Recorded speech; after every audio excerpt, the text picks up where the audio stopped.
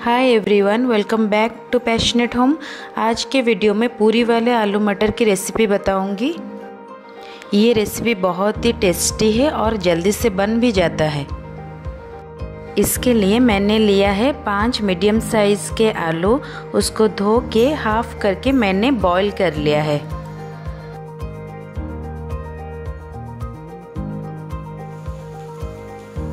एक कप मटर लिया है और ग्रेवी के लिए मैंने एक बड़ा प्याज, एक मीडियम साइज़ टमाटो को चॉप कर लिया है, दो हरी मिर्च और हाफ़ इंच अदरक के टुकड़े को मैंने ग्रेट कर लिया है।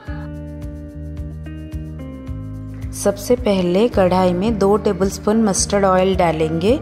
आप चाहें तो रिफाइंड ऑयल भी ले सकते हैं। ऑयल गर्म होने के बाद उसमें हाफ़ टी स्पून सरसों और हाफ़ टी स्पून जीरा डालेंगे।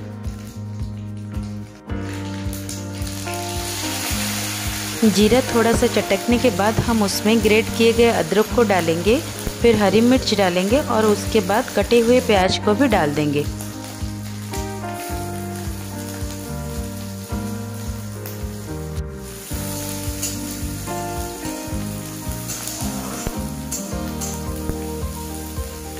प्याज को थोड़ी देर फ्राई करने के बाद हम उसमें उबले हुए आलू को डालेंगे और उसमें स्वाद अनुसार नमक और एक टीस्पून हल्दी डालकर अच्छे से मिला लेंगे।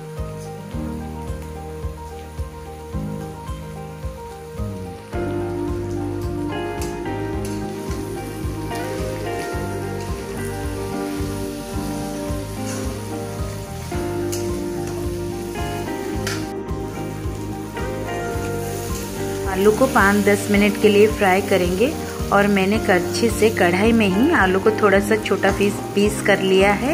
इससे ग्रेवी थोड़ी सी थिक बनती है।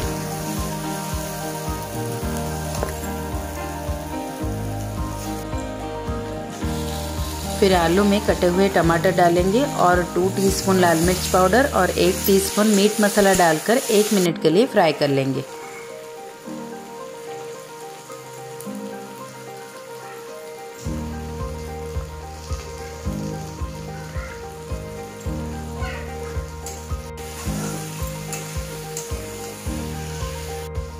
फ्राई करने के बाद हम उसमें मटर डालेंगे।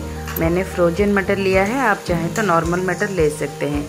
मटर डालने के बाद फिर इसको एक दो मिनट के लिए फ्राई कर लेंगे। अच्छे से फ्राई करने के बाद हम उसमें दो ग्लास पानी डालेंगे।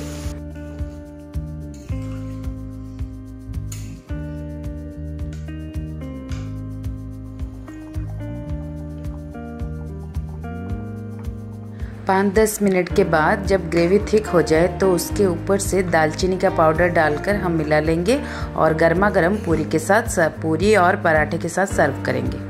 आपको ये वीडियो अच्छी लगे तो मेरे चैनल को लाइक एंड सब्सक्राइब करना ना भूलिएगा।